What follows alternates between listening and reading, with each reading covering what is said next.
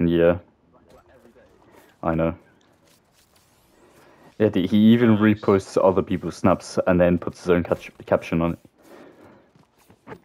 Oh my god. Oh my god. Also, the, um, for the hostel, there is there is another hostel which is it'll be like um 106 pounds per person. It's 950 950 meters.